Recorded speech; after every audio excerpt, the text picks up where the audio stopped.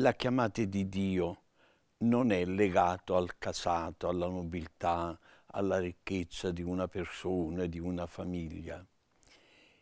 È una chiamata voluta da Dio dove vede principalmente le intenzioni della persona a cui si deve rivolgere. Nella scelta di Maria è una scelta, secondo la logica umana, un po' fuori posto, perché una fanciulla, una semplice fanciulla, avrà avuto 14 anni e Nazareth non è che poi fosse un grande paese, delle grotte. In una di queste grotte vi era una fanciulla di 14 anni e che riceve l'annunzio dell'angelo mandato da Dio. L'umile e povera fanciulla poteva avere, come dicevo, 14 anni e ricevette l'annunzio dell'angelo. Dove e come avvenne questo annuncio? Molti dicono non nella grotta, altri dicono proprio nella grotta, ma principalmente si orientano alle varie ipotesi vicino alla fontana, che oggi viene chiamata la fontana della Madonna. O piuttosto è stato una ispirazione del Signore, una locuzione, Dio che gli parla nell'interno. Sono varie ipotesi. Quello che è importante è che Dio fa una scelta che si rivolge a questa fanciulla che non pensava proprio di ricevere un messaggio da Dio e rimane sconvolta. Possibile mai? Ma rimane attenta a quello che l'angelo gli gli suggerisce. Maria è chiamata a fare una scelta storica, promettendo il sì. La cosa è molto bella, diventa diciamo, la, la ragazza scelta dal Signore, però bisogna pure tenere presente che in quel sì vi è una nascita fuori programma che può attirare le critiche e il giudizio negativo del popolo, perché non era una ragazza già sposata regolarmente, ma era una promessa sposa.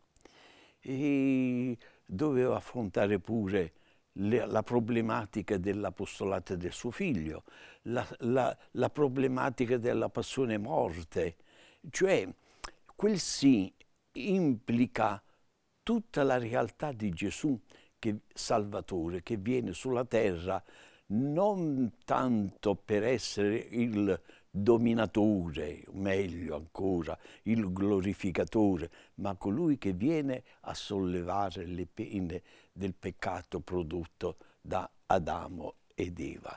Quindi un sì completamente duro nella, nella risposta. Nonostante ciò, ciò è cosciente della propria decisione e si fida di Dio e si dona e pronuncia il suo sì. Siamo tutti chiamati alla santità. Il Signore ci invita ad essere generose come Maria nel rispondere sì a questa sua chiamata alla santità i presbiteri, dando tutto se stesso nell'apostolato come sacerdoti del Signore.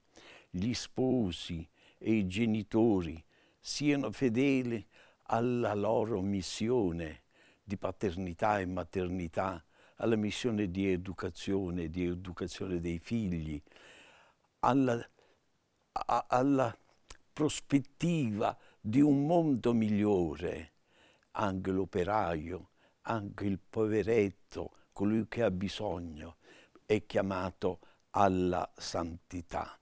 Tutti coalizzati in forza dell'amore per il bene comune, per il bene della società. Ogni cristiano sia portatore di Cristo. È necessario, sulla testimonianza di Padre Pio, vivere di Eucaristia, impegnarsi nella preghiera personale e liturgica ed essere a servizio dei fratelli. Nei momenti di scoraggiamenti è chiaro che ci sono anche nel cammino di fede e di impegno nel cammino della santità, però è Dio che parla, è Dio che chiama e non bisogna avere preoccupazioni perché con Dio si vince sempre.